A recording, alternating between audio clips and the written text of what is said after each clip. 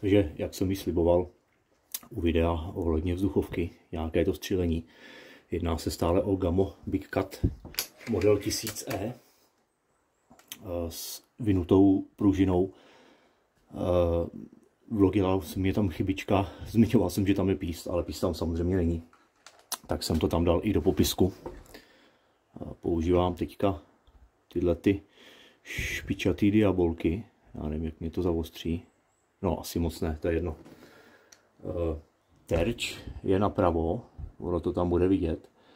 Napravo, jak je ten strom, tak tam je plechovka od pepsiny modrá. Eh, vzdálenost asi 35 metrů nějakou odhadem. Eh, už jednou byl úspěšný zásah, ale faktem zůstává, že nevím, jestli mě úplně nezlobí ta optika.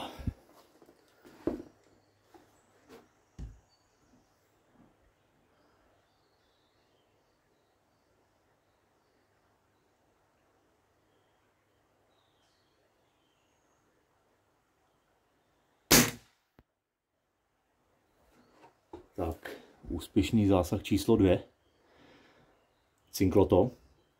Na poprvé jsem si to strhnul úplně doprava. E, ta střelba je příjemná. Není, není z toho nějak, e, kdo ví, jaký zpětný ráz. Ráno to trošku je. A ta vzduchovka má takhle tu tlumící bodku.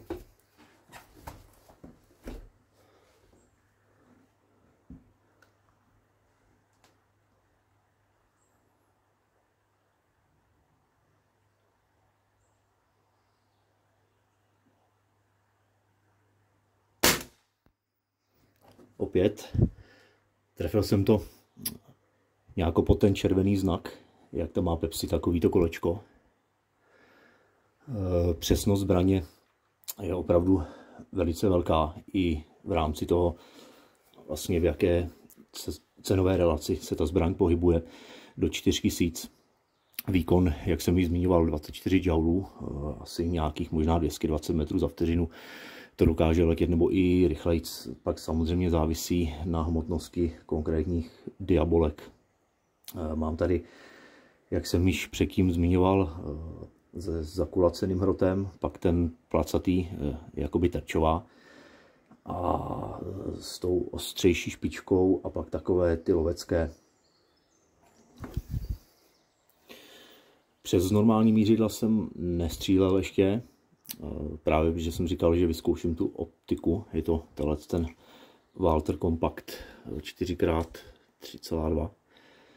Eh, měl jsem právě za to, eh, že už je to malinko horší. Eh, u předchozí vzduchovky tam měla teda větší zpětný ráz, ačkoliv to byla slabější. Ráže to byla stejná, ale výkon tam byl 16 joulů. Zase úplně něco trošičku jiného ale tak zdá se, že ten puškolet asi držet bude. Takže uvidím, případně by to člověk musel řešit eh, samozřejmě něčím jiným.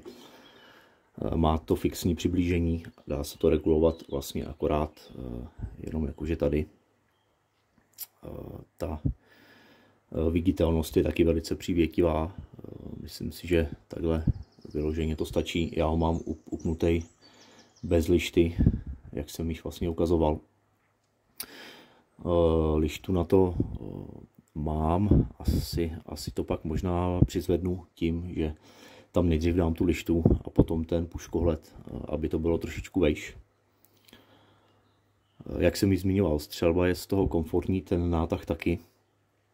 Přesný to je.